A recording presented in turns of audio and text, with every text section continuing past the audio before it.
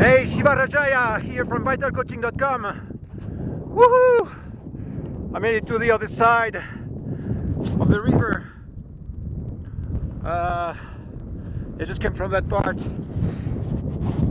It was very challenging, you know, some parts up uh, water up to the top of my legs.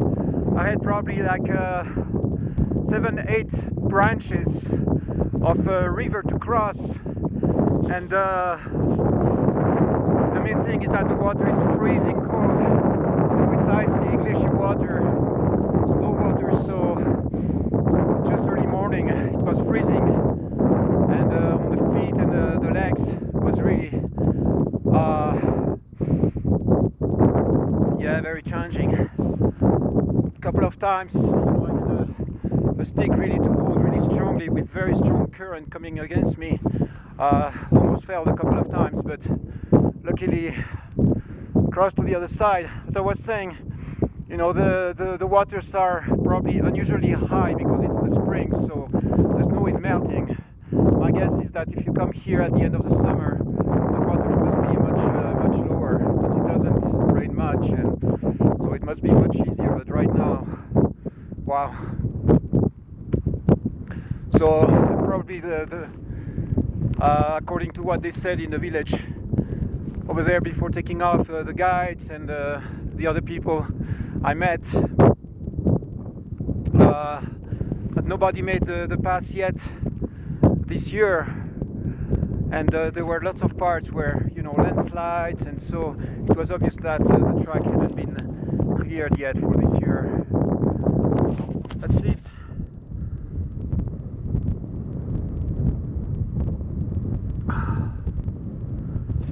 beautiful Paralang, Parangla, Jesus, I have some problems remembering this name somehow.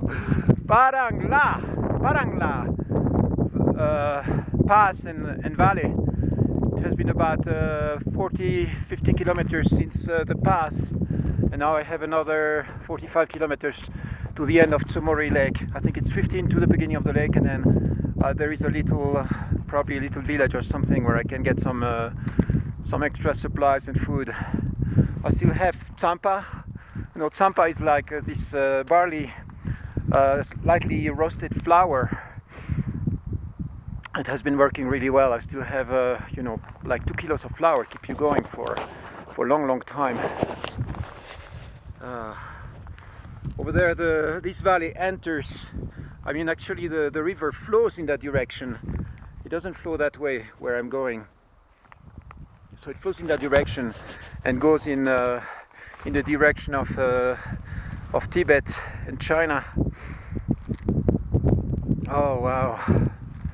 It's been quite uh, quite an intense adventure, especially by the fact that there is absolutely nobody. You know that it's really really isolated. Uh, yeah, but we're well worth the adventure especially I, can, I cannot tell you much about the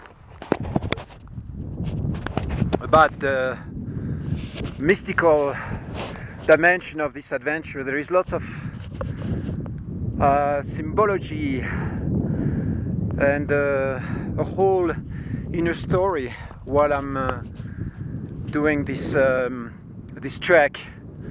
You know it's a little bit about the physical adventure as well but it's mainly about